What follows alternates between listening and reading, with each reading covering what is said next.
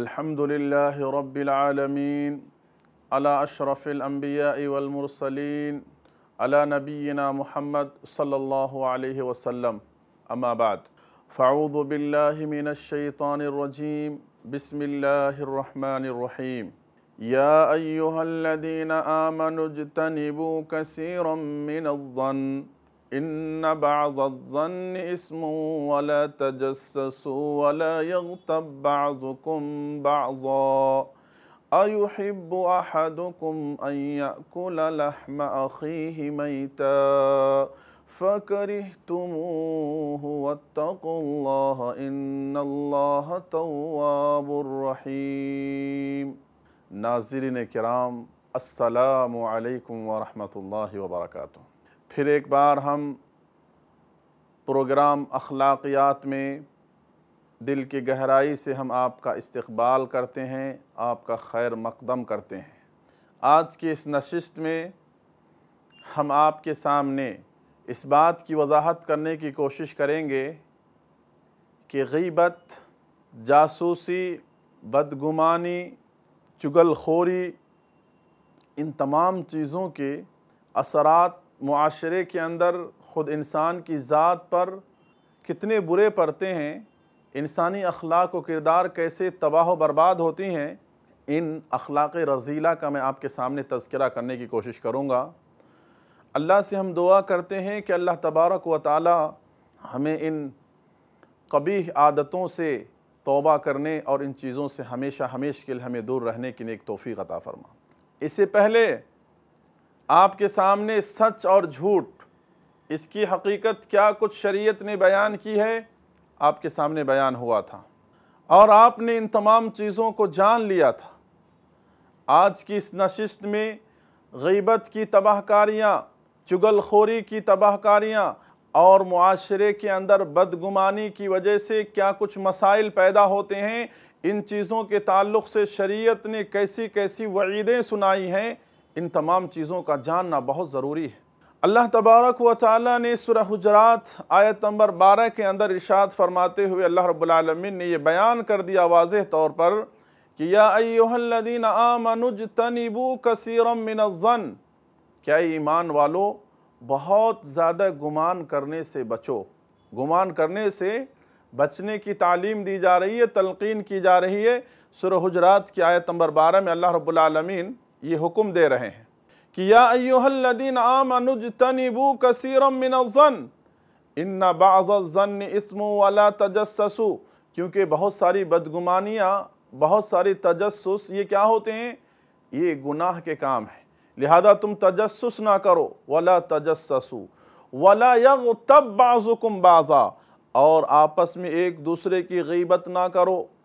غیبت کرنا کتنا بڑا گناہ ہے۔ اللہ تبارک و تعالی بیان کر رہے ہیں۔ اس گناہ کبیرہ کا انجام اور وعید اللہ رب العالمین بیان کر رہے ہیں کہ غیبت کرنا گویا اپنے مرے ہوئے بھائی کا گوشت کھانے کے برابر ہے۔ اللہ اکبر۔ والعیاذ باللہ۔ ہم غیبت کے تعلق سے آج جاننے کی کوشش کریں گے اور معلوم کرنے کی کوشش کریں گے کہ غیبت کیا چیز ہے۔ حضرت ابو حریرہ رضی اللہ عنہ بیان کرتے ہیں کہ ایک مرتبہ نبی کریم صلی اللہ علیہ وسلم نے صحابہ کرام سے سوال کیا۔ صحابہ کرام سے سوال یہ کیا، اتدرون مل غیبہ کیا تم جانتے ہو غیبت کیا چیز ہے؟ صحابہ کرام نے کہا کہ اللہ اور اس کے رسول بہتر جانتے ہیں۔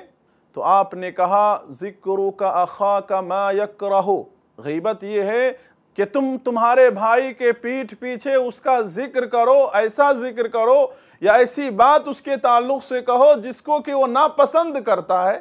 صحابہ نے کہا، اللہ کے رسول صلی اللہ علیہ وسلم، اگر وہ بات جو بیان کی جا رہی ہے اس کے اندر موجود ہو تو؟ کہا، وہی تو غیبت ہے۔ اگر اس کے اندر موجود نہ ہو تو وہ تو بہتان ہو جائے گا، وہ تو الزام ہو جائے گا۔ ناظرین کرام، غیبت ایک خطرناک ناسور ہے۔ غیبت ایک ایسا عمل ہے، ایسا قبیح عمل ہے جو انسان کی نیکیوں کو برباد کر دیتی ہے، ضائع کر دیتی ہے۔ انسان کو اس چیز کا تصور نہیں ہوتا ہے۔ غیبت انسان بہت مزے لے لے کر کے کرتا ہے، لیکن اس کا انجام کتنا برا ہے۔ آپ اس آیت کریمہ کے اندر غور کریں ذرا۔ اللہ تبارک و تعالیٰ نے بیان کیا کہ غیبت کرنے والا حقیقت میں وہ اپنے بھائی کا گوشت کھا رہا ہے۔ اللہ اکبر۔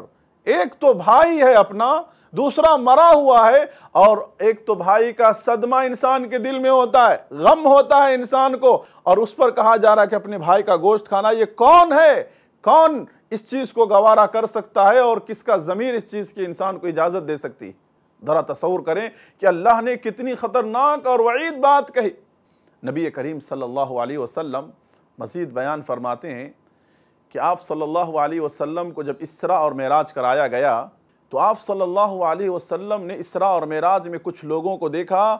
کچھ لوگوں کو اس حالت میں آپ دیکھیں کہ ان کے ناخون جو ہیں، تانبے کے ناخون ہیں۔ ان کے ناخون تانبے کے ناخون ہیں اور ان تانبے کے ناخون سے وہ اپنے چہروں کو نوچ رہے ہیں۔ اپنے چہروں کو خون خون کر رہے ہیں۔ نبی کریم صلی اللہ علیہ وسلم نے جبریل امین سے پوچھا کہ یہ وہ کون لوگ ہیں؟ یہ وہ کون لوگ ہیں جو اس طرح کی حرکت کر رہے ہیں؟ تو جبریل امین نے کہا کہ اللہ کے رسول صلی اللہ علیہ وسلم، یہ وہ لوگ ہیں جو دنیا کے اندر دوسروں کی غیبت کیا کرتے تھے، دوسروں کی عزت و آبرو سے کھلوار کیا کرتے تھے، دوسروں کی عزت و آبرو کا خیال نہیں رکھا کرتے تھے۔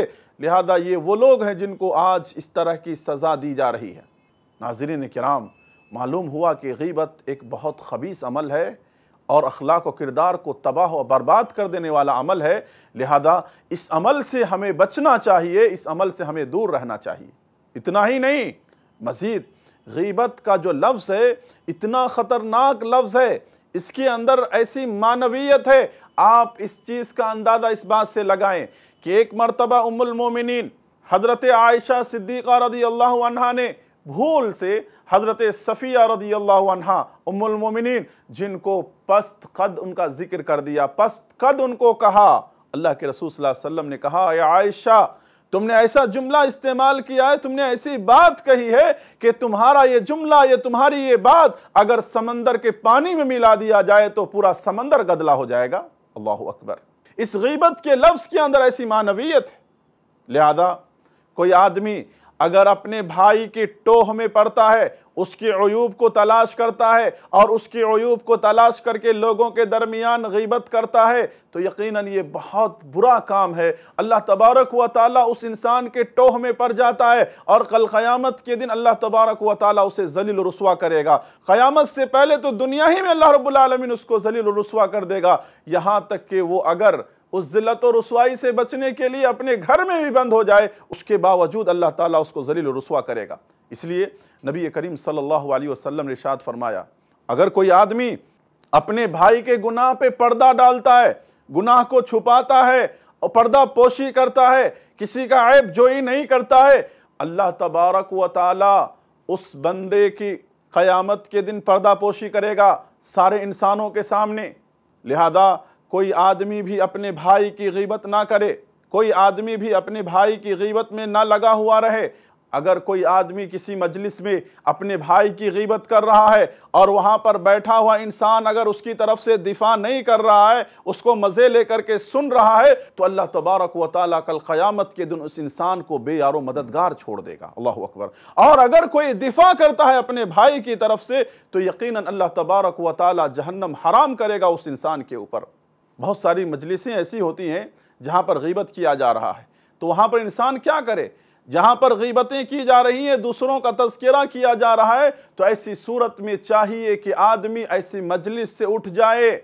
یا کسی نے اگر بھول سے نادانی میں آ کر کے غیبت کر دیا، اور اگر غیبت کر دیا، تو چاہیے کہ اس کو جب احساس اور ندامت ہو چکا ہے، تو اپنے سامنے والے بھائی سے جا کر کے معافی چالے یا کسی مجلس میں اس کی تعریف اور اچھائی بیان کر دے۔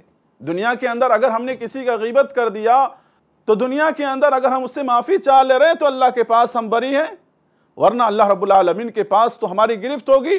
اور اگر کوئی آدمی کسی کی غیبت کرتا ہے، تو گویا اپنے اکاؤنٹ سے اپنا نیکی اس انسان کو دے رہا۔ حسن بصری رحمت اللہ علیہ کی کسی شخص نے غیبت کی۔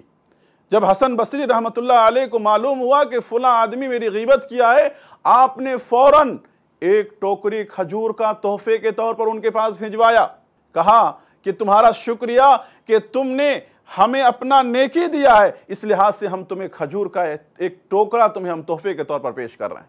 تو اندازہ کیجیے کہ انسان لا شعوری میں کس قدر غیبت کر کے اپنی نیکیوں کو ضائع کر رہا ہے۔ ناظرین کرام، آج بڑے افسوس کے ساتھ یہ بات ہمیں کہنی پڑتی ہے اپنی زبان سے۔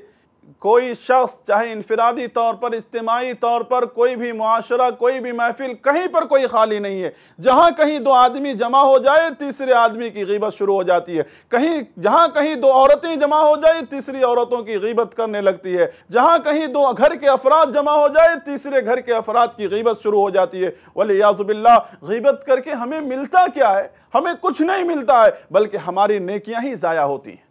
اس بات کو تصور کریں۔ بالخصوص ہماری جو یہ خواتین ہیں، جہاں کہیں پہ چار خواتین جمع ہو گئی، جہاں کہیں پہ دو خواتین جمع ہو گئی، بالخصوص بالعموم ان کاموں کے اندر ہی ملوث رہتی ہیں۔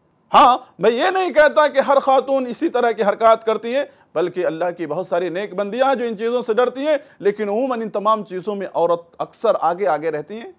لہذا اس قبیح کام سے ہمیں بچنا ہے۔ اب غیبت کی بات صورتیں ہیں جو انسان کو کرنے کی اجازت اسلام دیتا ہے۔ بعض صورت میں بعض حالات میں انسان غیبت کر سکتا ہے۔ کیسے؟ جیسے کوئی ظالم کسی نے ظلم کیا کسی پر تو مظلوم اس ظالم کی غیبت کر سکتا ہے۔ اس ظالم کی شکایت کے طور پر اس ظالم کی غیبت مظلوم بیان کر سکتا ہے۔ مظلوم بیان کر سکتا ہے کہ اس نے میرے اوپر ظلم کیا ہے۔ اس کی غیبت ایک مظلوم کر سکتا ہے۔ اس آدمی کے پاس، اس شخص کے پاس کہ جو اس کے مسائل کو حل کرے گا۔ لہذا نبی کریم صلی اللہ علیہ وسلم کے پاس ایک صحابی آتے ہیں۔ دلیل، اللہ کے رسول صلی اللہ علیہ وسلم کے پاس ایک صحابی آتے ہیں اور آ کر کے شکایت کرتے ہیں اپنے پڑوسی کی کہ اللہ کے رسول صلی اللہ علیہ وسلم وہ مجھے بہت تکلیف دیتا ہے، مجھے بہت پریشان کرتا ہے۔ اللہ کے رسول صلی اللہ علیہ وسلم نے اسے کیا کہا؟ کہا کہ جاؤ اور اپنے گھر کا سارا سامان روڈ پہ رکھ دینا، راستے پہ باہر نکال کر کے رکھ دینا۔ اللہ کے رسول صلی اللہ علیہ وسلم کا حکم تھا، گئے اپنے گھر کے سارے سامان نکال دیے۔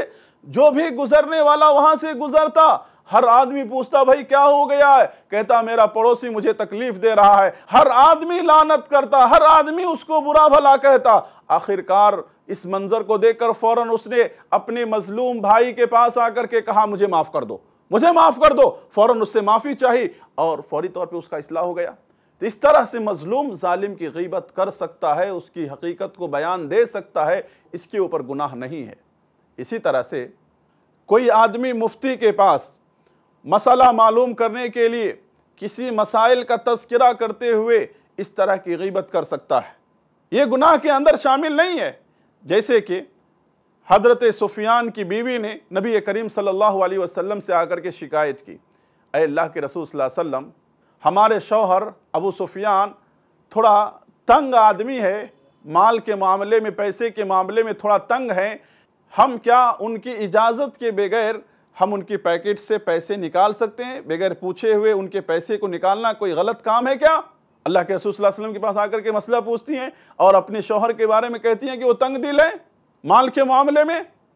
تو معلوم یہ ہوا کہ کوئی آدمی مفتی کے پاس مسئلہ پوچھنے کے ارادے سے اس طرح غیبت کر سکتا ہے، اس طرح کی بات سامنے رکھ سکتا ہے۔ اس پر گناہ نہیں ہے۔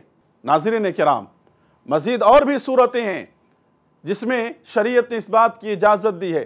جیسے کہ اگر کوئی آدمی اپنی بیٹی کا نکاح کا پیغام کسی آدمی کے پاس بھیجتا ہے، تحقیق کے ارادے سے یا مشورے کے ارادے سے اگر سامنے والے سے پوچھتا ہے کہ فلاں آدمی کیسا ہے اور فلاں آدمی کے ساتھ کرنا کیسا ہوگا، تو وہاں پر انسان اس کو برائی سے بچانے کے لیے حقیقت کا جو آئینہ ہے، اس کو دکھانے میں یہ غیبت کے اندر شامل نہیں ہے۔ جیسے نبی کریم صلی اللہ علیہ وسلم کے پاس فاطمہ بنت قیس رضی اللہ عنہ جن کے دو پیغام، دو رشتے آئے تھے، دو آدمی کی طرف سے، اللہ کے رسول صلی اللہ علیہ وسلم سے مشورہ کیا کہ اللہ کے رسول صلی اللہ علیہ وسلم میرے کو دو رشتے آئے ہیں، ایک حضرت معاویہ ہیں اور ایک ابو جہم ہے۔ ان دونوں میں سے ہم کس سے نکاح کریں، کس سے ہم شادی کریں؟ نبی کریم صلی اللہ علیہ وسلم نے کہا کہ رہی بات حضرت معاویہ کی، تو وہ بیچارے مال میں کم ہیں، کنگال ہیں تنگ دست ہیں وہ، اور رہی بات ابو جہم کی، تو ابو جہم یہ عورتوں کو مارنے والے ہیں، عورتوں کو مارنے والے زیادہ ہیں۔ تو میرا مشورہ یہ ہے کہ تم اسامہ سے شادی کر لو۔ تو دیکھیے یہاں پر نبی کریم صلی اللہ علیہ وسلم نے دونوں کی حقیقت سامنے والے کے، سامنے والے کے پاس بیان کیا، سامنے والے کو اللہ کے رسول صلی اللہ علیہ وسلم نے اطلاع دی۔ نبی کریم صلی اللہ علیہ وسلم کے پاس فاطمہ بنت قیس نے اپنے رشتے کا جب مسئلہ رکھا مشورے کے طور پر، تو آپ نے معاویہ اور ابو جہم دونوں کی حقیقت کو آپ نے بیان کرتے ہوئے کہا کہ تیسرے شخص اسامہ سے تم شادی کر لو، کیونکہ معاویہ یہ مال میں کم ہیں، تنگ دست ہیں اور ابو جہم جو ہیں یہ عورتوں کو مارنے والے ہیں۔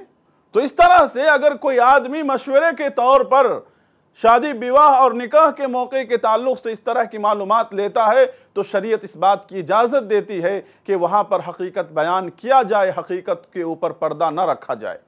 اسی طرح سے اگر کوئی آدمی کسی کی اصلاح چاہتا ہے، تو اصلاح کے طور پر اس کے سرپرست سے اس آدمی کی غیبت کر سکتا ہے، اس کی برائی کو بیان کر سکتا ہے، اس کے ماں باپ سے، اس کے سرپرست سے، اس سے ذمہ دار سے، اس کے اساتذہ سے کہ بھئی فلاں آدمی اس کے اندر یہ عیب ہے، فلاں آدمی اس کے اندر یہ برائی ہے۔ ان تمام چیزوں کا تذکرہ کیا جا سکتا ہے۔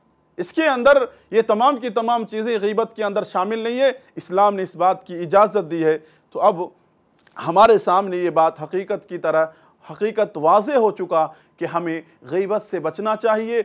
غیبت ایک بہت برا عمل ہے۔ غیبت کی وجہ سے ہماری نیکیاں ضائع ہوتی ہیں اور ہماری نیکیاں اللہ تبارک و تعالیٰ کے پاس کل ہمیں ملنے والا نہیں ہوگا، بلکہ ہماری نیکی سامنے والے کو دے دی جائے گی۔ لہذا ایک حدیث کا اس بات سے آپ اندازہ کیجیے کہ نبی کریم صلی اللہ علیہ وسلم نے صحابہ کرام سے ایک مرتبہ سوال کیا کہ مفلس کون ہے؟ آپ صلی اللہ علیہ وسلم کو صحابہ نے کہا، اللہ کے رسول صلی اللہ علیہ وسلم ملا دینار لہو والا درہما اے اللہ کے رسول صلی اللہ علیہ وسلم، جس کے پاس دینار نہیں ہے، درہم نہیں ہے، معاشرے کا مفلس آدمی ہے وہ۔ آپ صلی اللہ علیہ وسلم نے اشارت فرمایا کہ میری امت کا مفلس وہ نہیں ہے، میری امت کا کنگال وہ نہیں ہے۔ میری امت کا مفلس اور کنگال تو وہ شخص ہے جو کل قیامت کے دن ڈھیر ساری نیکیاں لے کر کے آئے گا۔ ایک طرف حج، ایک طرف عمرہ، ایک طرف صدقات و خیرات، ایک طرف نماز، ایک طرف روزہ، بہت ساری نیکیاں لے کر کے آئے گا۔ لیکن اس نے کسی کی غیبت کی ہوگی، کسی کے دل کو دکھایا ہوگا، کسی کو ظلم کیا ہوگا، کسی کے ساتھ بد زبانی اور بد کلامی کیا ہوگا۔ الغرض بہت سارے لوگوں کو اوپر زائدتی کرنے کی وجہ سے کل قیامت کے دن ہر حقدار آئے گا، کہے گا، اللہ اس نے میری غیبت کیا، اللہ اس نے میرے اوپر زائدتی کیا، اللہ میرے ساتھ اس نے فلاں معاملہ کیا۔ اللہ تبارک و تعالی حکم دے گا کہ اس کی ساری نیکیاں ان لوگوں میں تقسیم کر دو، آخرکار ان کے گناہ، ان کے سر، ان کی نیکیاں ان لوگوں کے حوالے ہو جائے گا اور آخرکار یہ جہنم میں ڈال دیا جائے گا۔ تو لہذا آدمی دنیا کے اندر اس قدر محنت کر رہا ہے، نیکی ایک ایک بٹور رہا ہے، تو اس نیکی کی حفاظت ہم ایسی ہی کریں کہ معاشرے کے اندر ہم کسی کی غیبت نہ کریں۔ غیبت کرنے سے ہم اجتناب کریں۔ غیبت یہ بہت قبیح عمل ہے، گناہ کبیرہ کے اندر شامل ہے۔ اگر ہم نے کسی کی غیبت کی ہے، تو اللہ کے لیے ہم اس سے معافی چاہ لیں یا اللہ تبارک و تعالیٰ سے ہم معافی چاہیں یا اگر وہ دنیا سے گزر گئے ہیں تو اس کی ہم نیکیاں اور اس کی اچھائیوں کا ہم ذکر کر دیں، ورنہ کل قیامت کے دن ذلت و رسوائی کا سامنا کرنا پڑے گا۔ دنیا کے اندر کسی کے سامنے دو لفظ کہہ دینا، بھائی مجھے معاف کر دو، یہ کوئی بڑی بات نہیں ہے، لیکن آخرت کے اندر ساری انسانیت کے سامنے ہماری ذلت و رسوائیاں ہوں گی۔ ناظرین کرام، معاشرے کی ایک قبیح جو اخلاقی پہلو تھا وہ آپ کے سامنے بیان ہوا غیبت کی شکل میں۔ دوسری صورت جو معاشرے کو تباہی اور بربادی کی طرف لے جا رہی ہے، وہ ہے بدگمانی۔ بدگمانی کرنا۔ بدگمانی کسی کے تعلق سے پھیلانا۔ بدگمانی کی وجہ سے معاشرے کے اندر بہت ساری تباہیاں آتی ہیں۔ اس لیے نبی کریم صلی اللہ علیہ وسلم نے ارشاد فرمایا، ایاکم والظن، فَإِنَّ الظَّنَّ اَقْزَبُ الْحَدِيثِ کہ لوگو، بدگمانی کرنے سے بچو، کیونکہ بدگمانی کیا ہے؟ جھوٹ ہے۔ بدگمانی جھوٹ ہے۔ بدگمانی سے انسان کو بچنا چاہیے۔ حضرت ابو حریرہ رضی اللہ عنہ بیان کر رہے ہیں کہ بدگمانی سے نبی کریم صلی اللہ علیہ وسلم نے ہمیں منع کیا۔ بدگمانی اتنی خطرناک چیز ہے جس کی وجہ سے معاشرے کے اندر اچھے اچھے رشتے ناٹے ٹوٹ جاتے ہیں۔ اگر بدگمانی کا شکار انسان معاشرے کے اندر اپنے فیملی کے اندر، اپنے دوستوں کے اندر، اپنے ماتحت لوگوں سے ہو جائے تو سارے معاملے بگڑ جاتے ہیں۔ ایک میاں بیوی کے درمیان اگر بدگمانیاں پیدا ہو جائے تو میاں بیوی کا یہ مقدس رشتہ ٹوٹ جاتا ہے۔ میاں بیوی اگر ایک دوسرے سے بدگمان ہو جائے تو اچھا خاصا خاندان برباد ہو جاتا ہے، اولاد تباہ و برباد ہو جاتے ہیں۔ باپ بیٹے کے درمیان اگر بدگمانیاں پیدا ہو جائے تو کتنے معاملے بگڑ جاتے ہیں۔ ماں بیٹی کے درمیان اگر بدگمانیاں پیدا ہو جائیں تو ماں بیٹی کے رشتے پوری طرح سے جو مقدس رشتے ہیں وہ ختم ہو جاتے ہیں۔ دوست و دوست کے درمیان اگر بدگمانیاں پیدا ہو جائیں تو اچھی اچھی دوستیاں ختم ہو جاتی ہیں۔ لہذا شریعت نے کہا، ایاکم والظن فَإِنَّ الزَّنَّ اَقْزَبُ الْحَدِيث کہ بدگمانی کرنے سے بچو۔ بدگمانی تمہیں تباہی اور بربادی کی طرف لے جائے گی کیونکہ یہ جھوٹ پر مبنی ہے اور جھوٹ سے کبھی انسان کو بھلا نہیں ہوتا ہے۔ مزید اسی حدیث کے اندر نبی کریم صلی اللہ علیہ وسلم بیان کرتے ہوئے کہا کہ وَلَا تَحَسَّسُوا وَلَا تَجَسَّسُوا وَلَا يَغْتَبْ بَعْضُكُمْ بَعْضًا کہ لوگو، ایک دوسروں کی ٹوہ میں مت پڑو ایک دوسروں کی جاسوسی مت کرو، ایک دوسروں کی عیب جوئی مت کرو، بلکہ کونو عباد اللہ، سب آپس میں اللہ کے بندے ہو، بھائی بھائی بن کر کے زندگی گزارو۔ اللہ تبارک و تعالیٰ نے اسی بات کی تنبیہ کرتے ہوئے آیت کی ابتدا میں یہ بات کہی گئی، یا ایوہ الذین آمنوا اجتنبوا کثیرا۔ اللہ اکبر اللہ اکبر۔ کہ تم بدگمانی کرنے سے بچو، اور بدگمانی ایک بہت خطرناک چیز ہے۔ بدگمانی معاشرے کے اندر جیسے کچھ کہ آپ کے سامنے بیان ہوا، یہ سب چیز کو برباد کر دیتی ہے۔ اچھا خاصا رشتہ اچھا خاصا ماحول، بنی بنائی تمام کی تمام چیزیں بگڑ جاتی ہیں ایک بدگمانی کی وجہ سے۔ اب جو انسان عموماً بدگمانی کا شکار کب ہوتا ہے؟ انسان اس حقیقت کو معلوم کرنے کی کوشش نہیں کرتا ہے جس کی وجہ سے انسان بدگمانی کا شکار ہوتا ہے۔ مثال کے طور پر، ہم نے ہمارے کسی رشتہ دار کو فون کیا۔ ہم نے ہمارے کسی دوست کو فون کیا، ہمارا فون اس نے ریسیو نہیں کیا۔ اب ہم بدگمان ہو گئے کہ بھئی وہ ہمارا فون نہیں ریسیو کرتا ہے، ہمارا فون نہیں لیا۔ اب وہاں پر ہمیں، اگر ہمارا دل اگر صاف ہے، پاک ہے، تو ہمیں چاہیے تھا کہ ہم اپنے دوست سے، اپنے بھائی سے، اپنے رشتہ دار سے، اپنے اولاد سے ہم یہ پوچھتے کہ بھئی تم نے فون میرا کیوں ریسیو نہیں کیا؟ مجھے تم نے فون کیوں نہیں کیا؟ اس کی وجہ ہو سکتی ہے، بیچارہ مصروف ہوگا، بیچارہ کسی ایسے کام میں ہوگا کہ اس کو تو ریسیو کرنا اس کے لیے ممکن نہیں ہے، یا بیچارہ بعد میں بھول گیا ہوگا، یا بیچارے کے ساتھ اور کوئی پروبلمز ہو سکتے ہیں۔ تو اس لیے کہا گیا ظُنُّ بِالْمُؤْمِنِينَ خَيْرًا مومن کے بارے میں اچھا گمان رکھو اچھا سوچ رکھو مومن کے بارے میں۔ مومن کے بارے میں غلط گمان مت رکھو اچھا گمان رکھنا چاہیے۔ اور شریعت نے ہمیں اچھا گمان ہی کے اوپر فیصلہ کرنے کا بھی حکم دیا ہے۔ ظاہرتاً جو ہم اچھا دیکھتے ہیں، اسی کے مطابق ہمیں فیصلہ کرنے کا بھی شریعت نے حکم دیا ہے۔ تو لہذا آج معاشرے کے اندر جب ہم حالات کو دیکھتے ہیں، تو ہر طرف غیبت کا ماحول، ہر طرف بدگمانی کا ماحول، ہر طرف تجسس کا ماحول، اور اس کے پیچھے بہت سارے گھر، رشتہ دار، خاندان، یہ سارے کے سارے کیا ہو رہے ہیں؟ تباہ ہو رہے ہیں۔ کہیں پر میاں بیوی کے درمیان اس طرح کی تباہی ہے، کہیں پہ باپ بیٹے کے درمیان یہ تباہی مچی ہوئی ہے، تو کہیں پر بھائی بھائی کے درمیان یہ تباہی مچی ہوئی ہے۔ الغرض خاندان بہت پریشانی کا شکار ہو رہی ہے ان تمام چیزوں کی وجہ سے۔ لہذا خاص کر کے ہمارے پرسنل لائف کے اندر ان تمام چیزوں کے اوپر ہم توجہ دیں اور توجہ دے کر کے ہم ان چیزوں سے بچنے کی کوشش کریں اور بدگمانی کرنے والے لوگوں سے ہم بچیں، غیبت کرنے والے لوگوں سے بچیں۔ ان کی محفلوں میں ہم اٹھنا بیٹھنا نہ کرے جہاں کہیں بھی غیبت ہوتا ہو، ایسی محفلوں سے، مجلسوں سے ہم اٹھ جائیں۔ جہاں کہیں بدگمانی کی بات ہو رہی ہو، وہاں پر ہم استغفار کر کے وہاں سے ہم اٹھ جائیں۔ غیبت کرنے کے بجائے ہم اللہ اور اس کے رسول صلی اللہ علیہ وسلم پر ایمان رکھنے والے لوگ ہیں، ہم کو کام جو کرنا ہے وہ یہ کریں۔ آپ خالی بیٹھیں، سبحان اللہ، الحمدللہ، لا الہ الا اللہ۔ ان تمام چیزوں کو آپ بیان کریں گے تو اس سے تو ثواب ہوگا۔ آپ کے کھاتے میں نیکیاں آئیں گی، لیکن غیبت کرنے سے آپ کی نیکیاں ہی جائیں گی۔ تو ناظرین کرام، ہم اللہ رب العالمین سے دعا کرتے ہیں کہ اللہ تبارک و تعالی ہمیں اس برے اخلاق سے اپنے آپ کو دور رکھنے کی ہمیں ایک توفیق عطا فرما، ہمارے گھر اور ہمارے معاشرے کی اللہ تبارک و تعالی ہمیں اصلاح کرنے کی نیک توفیق عطا فرما۔ آمین۔ ناظرین کرام، کہیں نہ جائے آپ ہمارا چینل دیکھتے رہیں۔ انشاءاللہ پھر اس کے بعد ہم ایسے مضامین آپ کے پاس ہم لے کر کے آئیں گے۔ السلام علیکم ورحمۃ اللہ وبرکاتہ۔